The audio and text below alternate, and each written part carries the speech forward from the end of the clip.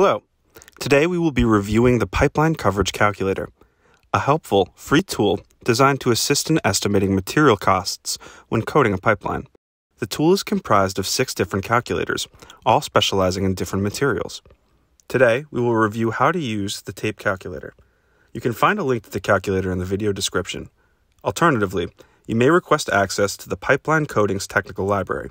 The calculator is available for download, along with dozens of helpful documents and resources.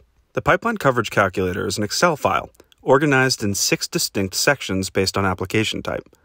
The section for tape coatings is at the very top. For now, we will ignore all other fields. You may notice several rows already have information in them. The calculator is programmed to automatically calculate results based on values entered in the yellow cells. This includes pipe outer diameter in inches, pipe length in feet, tape width in inches, tape length in feet, and the overlap width in inches. Let's run through an example of how to get a proper estimate.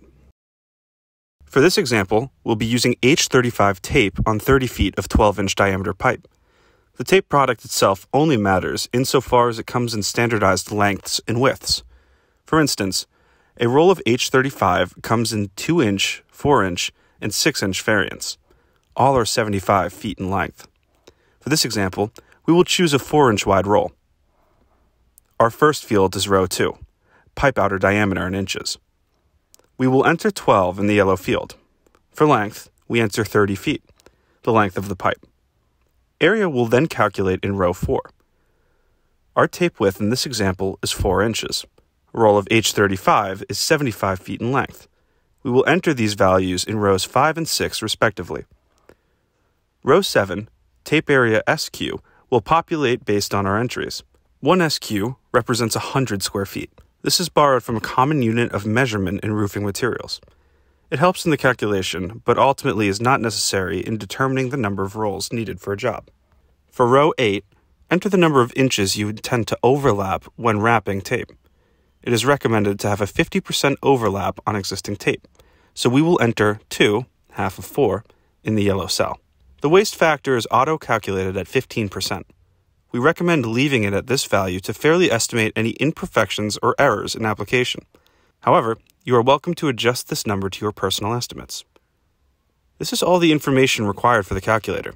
Again, that's tape width and length, outer diameter and length of the pipe, overlap width, and waste factor.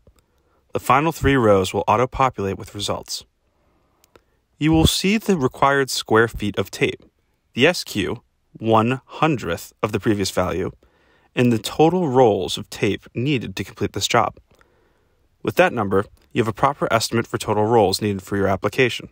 If you have any questions at all using the pipeline coverage calculator, please reach out. We would be happy to assist in any way possible. Thank you for listening to this guide. For more information on construction materials and protective coatings, as well as some helpful tips and best practices, check out our blog or subscribe to our mailing list for the latest news and updates.